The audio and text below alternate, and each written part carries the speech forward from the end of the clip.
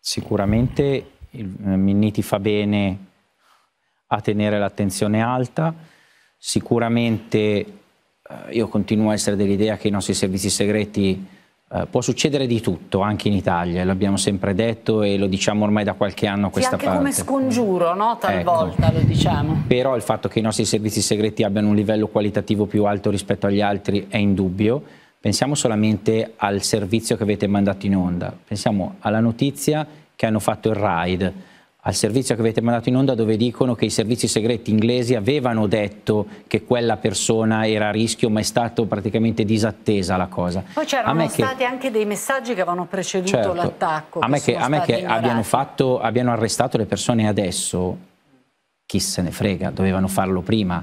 Uh, il ruolo dei servizi segreti è proprio questo, prevenire, certo. non arrestare dopo, prevenire che venga fatto che Dopodiché venga io immagino che il numero di queste persone che sono segnalate ai servizi segreti eh, sia un numero piuttosto ampio e che quindi forse questo renda abbastanza difficile Però se c'è una segnalazione, eh, so. almeno quello che ci è sempre stato detto anche dal ministro Minniti è che quando veniva a riferire, è venuto a riferire nelle varie commissioni è che nel momento in cui c'è una segnalazione è perché c'è qualcosa di concreto, sì. non è il vicino di casa che dice o l'amico certo. che dice ha postato una stupidaggine su Facebook Chiaro. o su un social network o l'abbiamo sentito inneggiare allo Stato islamico. Nel momento in cui i servizi segreti fanno una segnalazione vuol dire che c'è qualcosa di concreto.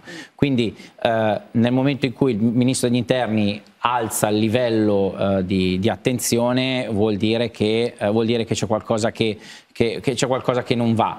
Però io faccio sempre un ragionamento perché da qualche anno a questa parte, tutte le volte che succede qualcosa, alziamo sempre il livello d'attenzione. Ma vuol dire che poi lo riabbassiamo o vuol dire che qui continuiamo ad alzare sempre di più il livello di attenzione? E fino a quando è? Quant'è che possiamo alzare il livello d'attenzione? Cioè, militarizziamo come peraltro ha detto la MEI, no?